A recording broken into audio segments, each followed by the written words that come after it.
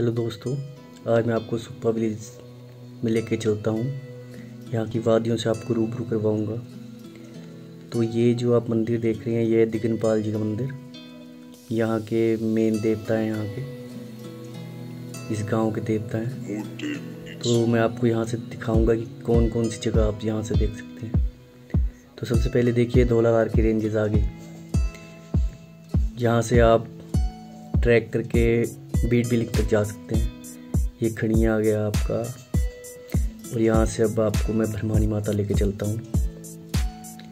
ये सामने देखिए भरमानी माता है यहाँ पे।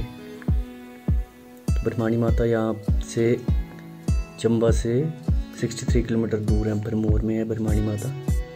और अभी आपको मैं सुप्पा से भरमानी माता का दर्शन करवा रहा हूँ, जो सुप्पा गाँव है। तो भरमानी माता के नीचे ही भरमौर जो मेन गाँव है, वहाँ पे चौरासी मंदिर है। इस जगह पे चौरासी मंदिर है। तो आप जाओगे तो यहाँ पे ज़रूर विज़िट करना।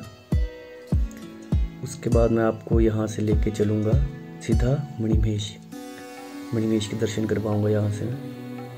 तो आप यहाँ से तीनों जो धाम है, तीनों जो जगह है तो यहाँ से आप अच्छे से दर्शन कर सकते हैं। ये है आपका मणिमेश कैलाश ये, और यहाँ से इसके नीचे साइड से परिक्रमा करते हैं, बाया गुप्ती होके जाते हैं।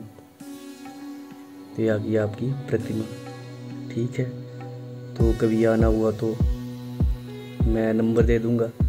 डिस्क्रिप्शन पे तो आप वहाँ से ले लेना, और जब भी आपको मौका लगे तो मुझे कॉल कर लेना।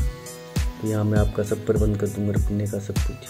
तो ये है आपका एक प्यारा से गाँव सुपा गाँव